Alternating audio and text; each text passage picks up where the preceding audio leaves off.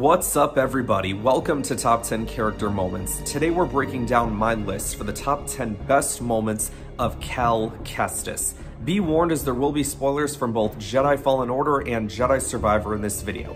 We're closing in on 300 subscribers, so if you haven't yet, be sure to subscribe, and if you have, tell your friends, family, neighbors, let them know that this channel is the place to be. And then tell them to go over to my other YouTube channel called Sector4Nerds, link in the description below, and subscribe there as well, as I'm trying to reach a thousand subscribers over there by the end of this year. Alright you guys, let's get into some honorable mentions before cracking the top 10, shall we? First up, meeting BD1. It's an important moment for Cal because BD ends up becoming his travel buddy through every adventure he has.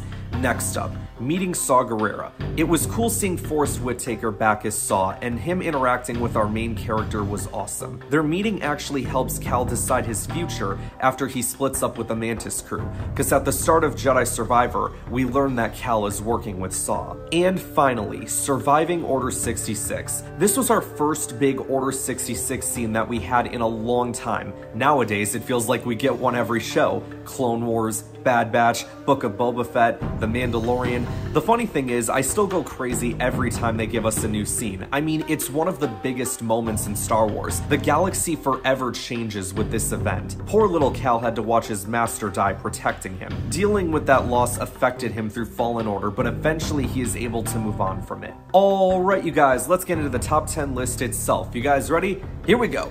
At number 10, defeating the Ninth Sister. This was so nice, he did it twice.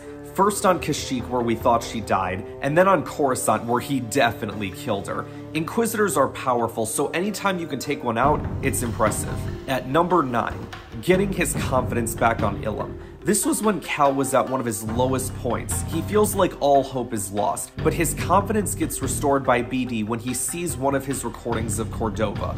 Failure is not the end, it is a necessary part of the path. It's such an emotional moment. Cordova knew BD would find someone to help the way he helped him, but his memories would be erased and only restored with a trusted connection with someone. Can someone pass me a tissue? What? No, I'm not crying. I just have allergies. At number 8, defeating Bode. After being betrayed by his friend, Cal must travel to Tanalorr to confront Bode and end him once and for all. He and Merrin give him a chance to surrender for his daughter's sake, but he refuses, resulting in Cal killing him. The final boss battle in Jedi Survivor was a massive pain in the butt. At number 7, reuniting with Merrin. After being separated for several years, Cal and Merrin reunite on Jedha while the Jedi makes his way to find Cere. They immediately start flirting with one another and I was there for it. They even snuggle in a cave together and I went crazy for it. Oh. Oh shit, let's go! Yes! Yes, yes, yes, yes, yes! At number 6, not fully giving into the dark side.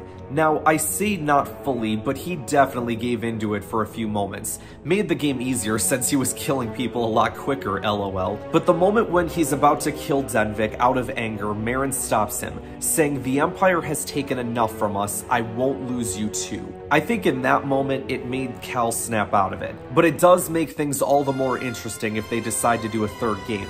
Like Cere said in Fallen Order, every Jedi faces the dark side. Well, seems like that battle might still be raging on for Cal. At number 5, becoming a Jedi Knight. It wasn't a traditional ceremony with the council and whatnot, but it was good enough happened in the moment right before they go to Fortress Inquisitorius. I'd say becoming a knight is a big deal for our boy. But speaking of Fortress Inquisitorius, segue, at number 4, defeating Trilla slash taking back the Holocron. After multiple encounters with the Second Sister and not being able to defeat her, Cal finally is able to do it at her home base. His power has grown a lot since he began his journey with the Mantis crew, so it makes sense to me that he was able to do it.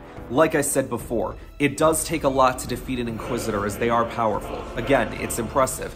Impressive.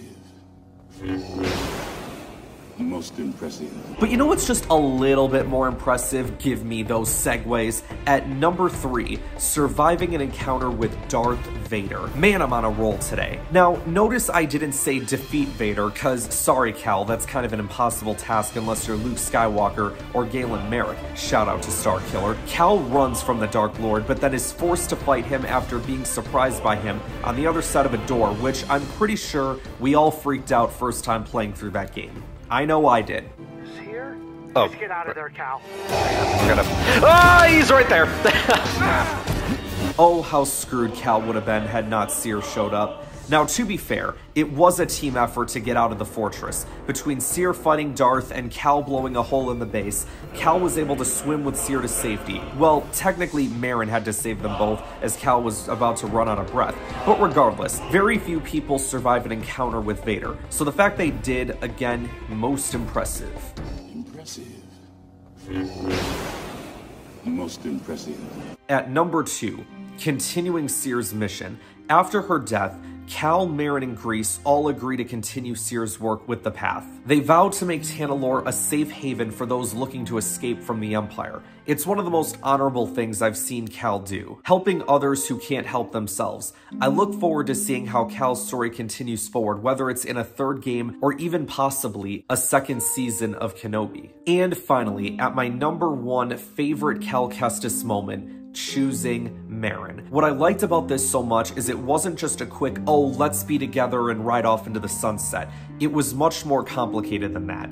Cal is a Jedi, meaning they are forbidden from attachments, but it's clear he really cares about Merrin, and vice versa. Cal eventually figures out what he wants, or more specifically, who he wants, and it's like the most satisfying part of the game. I enjoyed it so much. I know what I want now. Yes! Took you long enough. Hell yeah. Yeah! Let's go! That a boy, Cal.